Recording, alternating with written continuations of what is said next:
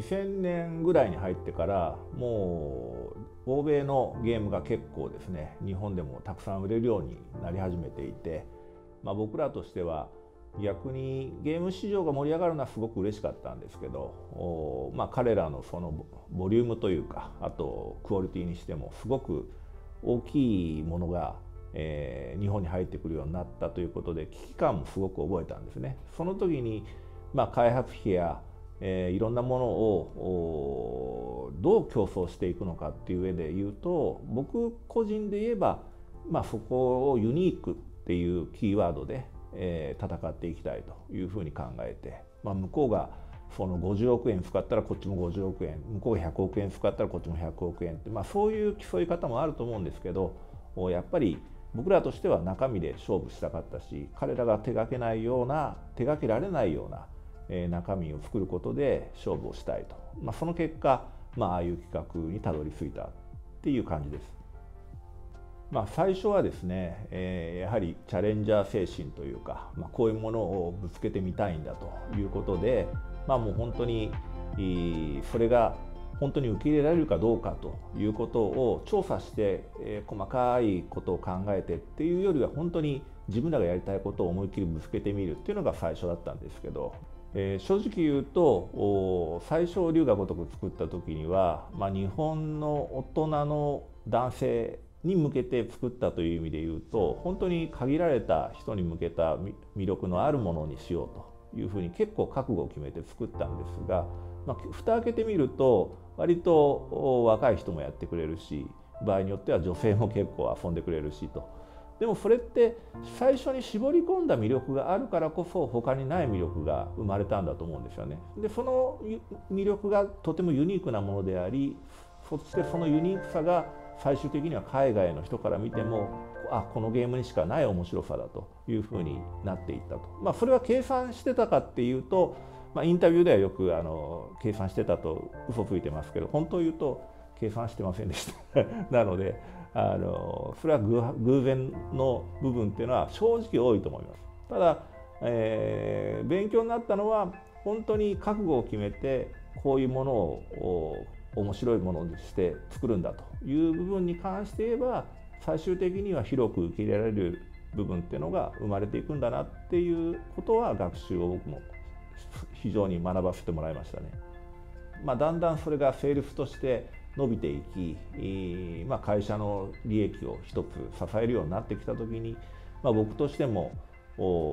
単なるチャレンジャー精神だけではやっぱり済まされなくなってきた時に、まあ、ちょうど本当にシリーズで言ったら4作目5作目あたりっていうのはまあえー、セールスをちゃんと成立させるというプレッシャーも多かったは多かったです。ただ、えー、ファンが増えたっていうことと中身の方向を変えていくことっていうのはやはり僕はどちらかというとあまり意識はしすぎない方が、えー、本来のファンが逃げていかないし本来、えー、あの作品の魅力にたどり着いてくれる人をさらに増やしていくためには僕ら自体がぶれていかないというか、えー、決してセールスが伸びたことを喜んでいるだけじゃなくて、え本来龍が如くっていうものを好んでいる方っていうのはどこが好きでっていうところだけを見失わないってことをえすごくいつも考えてました、えシリーズもですね回を重ねるごとに次はどういうことをゲームとして進化させるかということがやはり一番大事になってきてまあ一つはハードウェアが進化するということで労働の時間が短くなったりとかあとはシーケンス自体がスムーズに流れていくっていうメリットもあるんですけどやはりもっとドラマの質を上げていくことであったりとかまあ今はですね、えージャンルごとで、えー、グローバルであまり開発期間っていうのはそんなに差はないと思うんですね。ただ龍が如くという作品だけを取ると、まあ、常にワークフロー自体を見直しを大きくかけていったのは事実です。なので、えー、1作目ができるとアセットも溜まっていきますしそういう意味で、えー、開発期間が効率的になるのもありますがでも一回一回にプロジェクトって必ず反省があると思うんですよね。もっとこうしていればよかったとかもっとこういうジャッジを早くしていればよかったとかそういう小さい積み上げをほっとかないで前回って何がいけなかったんだっけっていうことを割と早いうちに、えー、みんなと共有してそしてワークフローに組み入れてっていうことを丁寧にやっていく、まあ、ムービー1本作るにしても舞台を作って芝居を作って照明を当てて仕上げをしてそういうステップもいいけどパラレルで動いて同時にやるっていうこともそれはあの大事な作業だったりするんですよ。まあ、そういう小さなあの工夫の積み上げが意外と大きな開発期間の圧縮につながっていくっていう実感はあります。あとは最新作の「セブンではあの RPG にジャンルを変えたりとかまたその間間で時代劇とか、えー、ゾンビが出てきたりとか、まあ、そういうネタの方向性も変えてみたり、まあ、ファンが飽きないようにそして、えー、技術の進歩に合わせたゲームプレイのスムーズさというそういう部分を両方考えてバランスよく提供していくっていうことを一番強く意識しました。正直言うと毎回ですね今回の作品は本当に受け入れられるのかということは、えー、すごく心配でなりませんでした。ただまあ僕らが一番大事にしている本質的な感動というものを大事にしている以上は結果は必ず追いついてくるものだというふうに信じてましたし、まあ、実際そういうふうにセールスも伸びていったので今でもその考え方は間違ってなかったなとは思います。ただ正直言うと今でもですね、えー、次に本当にそれが受け入れられるのかまたそのさらに次も必ず受けるのかっていうのはエンターテインメントの世界って絶対というものはないので毎回毎回一生懸命考えていくことでしか答えは出せないなというふうには思います。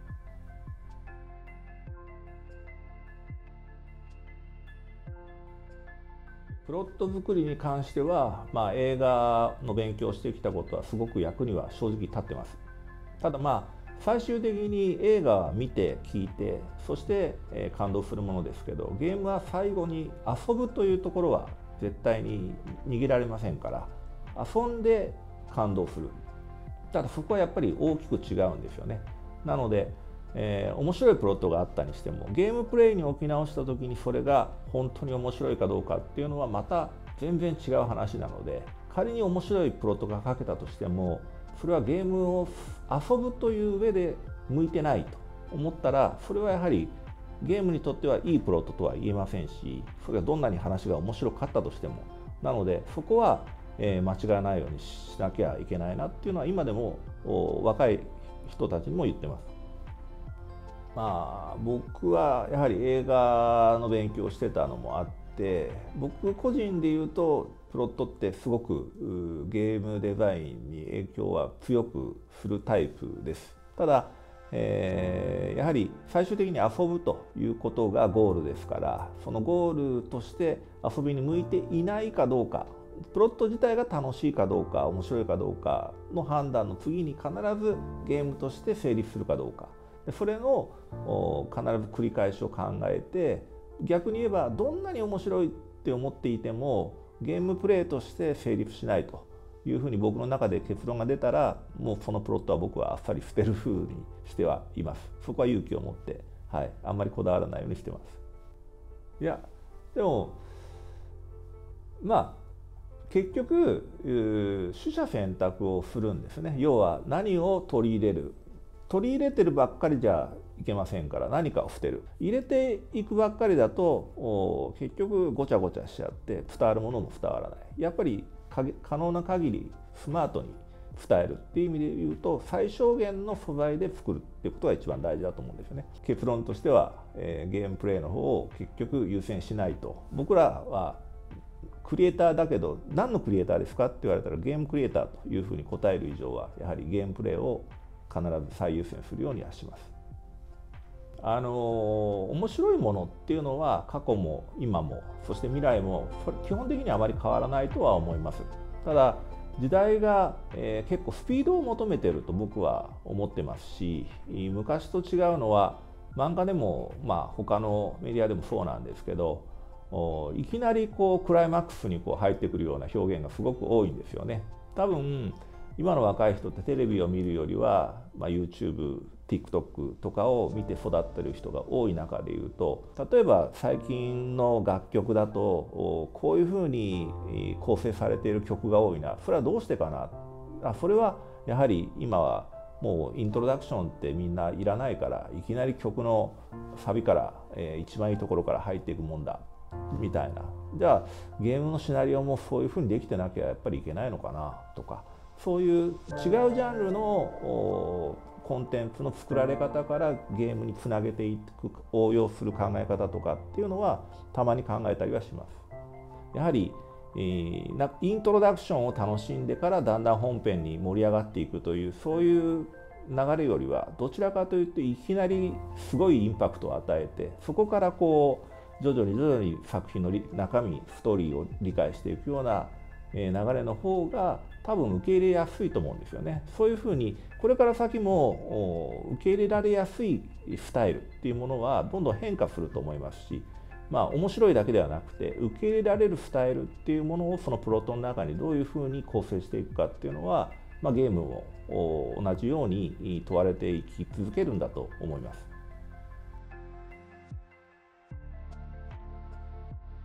まそうですね、えー、常に時代の進歩は技術の進歩に象徴されると思うんですよね。プレイステーションにしても2、3、4そして今から5が生まれる中で、えー、それは技術の進歩っていうのは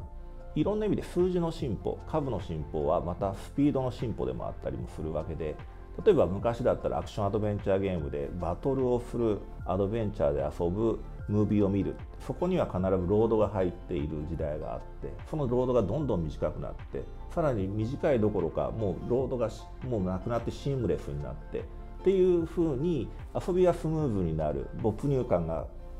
どんどんどんどん増していって感動がスムーズに伝わるようになるとか。結局技術が上がるっていうことはそれはえー、単純にスピードが上がるだけではなくて感動することにつながるように僕らは作っていかなきゃいけないしまた VR、AR にしてもそうですけど、えー、デバイスそのものが感動させるわけじゃないんですね。そのデバイスでを使って僕らはどんなやり方を手段をとって感動してもらうものにつなげていくかってやっぱりそこがクリエイティブだと思うんですよ。で僕もいろんな技術にはすごく興味がありますし注目もしていますけれども決して、ハードウェアが進歩する、まあ、デバイスがの選択が増える、まあ、ベタバースのようなそういうインフラがまた増えていくっていうことも非常に嬉しいんですけどでもそれだけがユーザーの満足にそして幸せにつながるとは限らないですしそれをちゃんと僕らはその上でどんなことができるのかどんなことをやらなきゃいけないのかをちゃんと見定めてからそこに参入していきたいっていうふうにそこは慎重に考えるようにしています。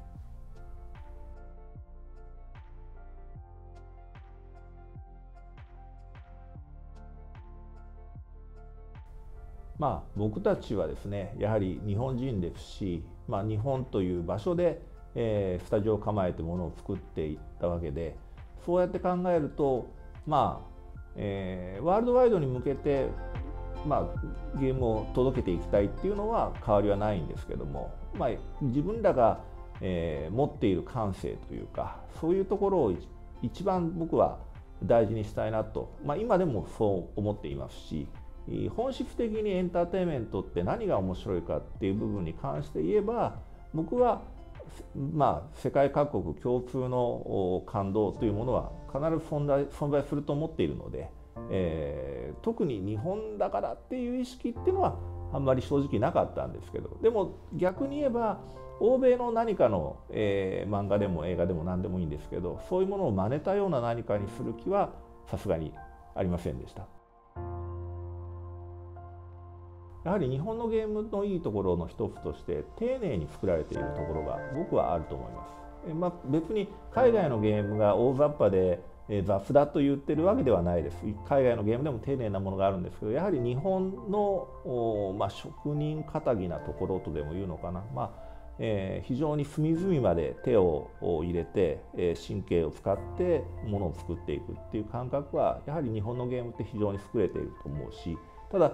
それがえー、丁寧だからセールスが同時に伸びていくっていうほど甘いものでもないのでただその丁寧さが、えー、ユーザーにきちんと伝わってあすごいきちんと作られていて感動するなというふうに僕らは特にプロデューサーとしては、えー、それをセールスとして、えー、必ずあの結果に結びつけていかなきゃいけないなっていうふうに今は僕は考えてますね。まあ今はもうゲームを遊ぶっていうことは本当に子供から大人大人も結構50代60代も含めて、え、遊ぶようになってますしまたスマートフォンでゲームを遊ぶ人たちも本当に増えましたからゲーム人口自体は本当に増え続けてるんだと思います。ただその中で、えー、より広く取ろうとマスを取ろうというのは当然ビジネスですから誰でも考えそうなんですけどでも僕はそれはやはり欲張りすぎた考え方であってやはりある作品のコンセプト面白さがあったらそこを受け入れてくれる人っていうのはやはり基本的には限りがあると思うんですね。ただその限られた人を思いっきり楽しませればまた次のバージョンが生まれるしその次のバージョンではさらに広がりが生まれるかもしれない。まあ要はステップをちゃんと踏んでそして徐々に徐々に大きくしていってで最終的には非常に広いユーザーをゲットしていくことにつなげていくようなやっぱりそういうやっぱりステップをちゃんと踏んでファンを広げていくそしてバズらせていくっていうことが最終的には僕は、えー、一番近道なんじゃないかなというふうに思ってます。これしかダメだ世界で売れるためにはこれしか方法がないっていうものはないと思います。ただえトレンドをきちっと追うので追うのであればちゃんと調査もしてそしてそういうカルチャーに対して明るい人をスタッフに迎え入れてそしてチームアップしてきちんと作っていくっていうのは大事でしょう。しまあ一方でオリジナリティユニークさで勝負するんであればそれはそれのコンテンツを作ることに自信のある人間がもう自信を持って、えー、最高の形で仕上げていくか、まあ、そうおおよそ2つに分かれるとは思うんですよね。僕はどちらかというとオリジナリティの高いものでユニークなものでそれで勝負したいと思ってますし、まあ、そこが、えー、うちのスタジオの最終的なカラーになっていくんじゃないかなって現時点では思ってます。